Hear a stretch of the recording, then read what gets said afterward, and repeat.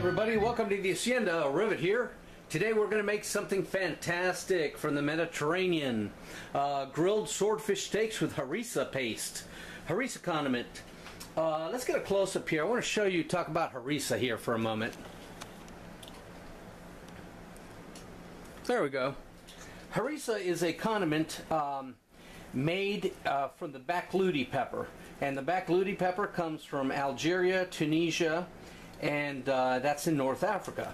Now, both of those countries were a colony of France for many, many years, and uh, this condiment, uh, therefore, was brought to southern France and is hugely popular there.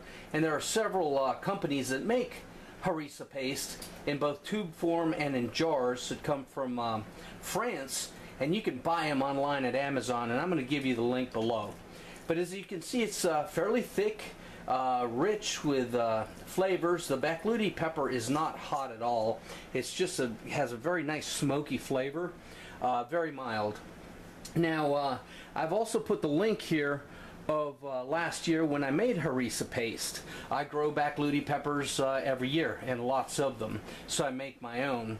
Um, you'll notice if you've seen the other video, this one's not as red as last year, and that's because this year uh, I added fresh cilantro. Same size recipe, but I added a cup and a half of fresh cilantro. Uh, I made and packed this on the 23rd of August. I got four full pints plus this full container. Um, the uh, the pints freeze well, and uh, you don't have to water bath them or nothing. Just cover them with a layer of olive oil and put them in the freezer, and they can freeze keep for about eight nine months. Now, as you can see, I've eaten about a third of this. This stuff is delicious on anything. Now I got some four nice swordfish steaks here. We're going to go ahead and coat them up and put them on the grill. So stick with me and I'll show you how we're going to do this. Alright, what we got here is four beautiful tuna fish steaks. Let's get a nice shot of that. What we are going to do, now I've rinsed and dried out the uh, tuna steaks with a paper towel very well. And we're going to take the harissa paste and we're going to rub it in fairly generously all over it, top, bottom, sides. Okay? Even Dak the cat wants some. Okay, so here we now, here we have the hot grills, coals, and the fish. And we're going to start cooking them.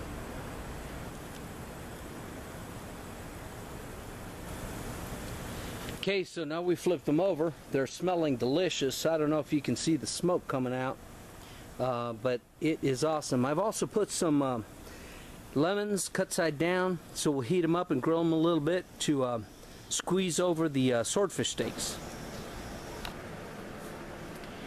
And there we have grilled swordfish steak uh, with garden tomatoes and uh, asparagus and some grilled lemon.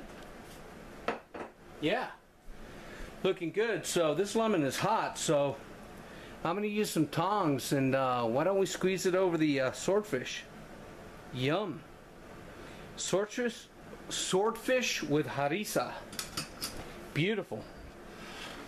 Smells gorgeous, people. I'll tell you, you can buy harissa seeds here in the U.S. Rareseeds.com. You can grow your own peppers. This is absolute deliciousness. Thanks for watching. I do appreciate you. Bye-bye.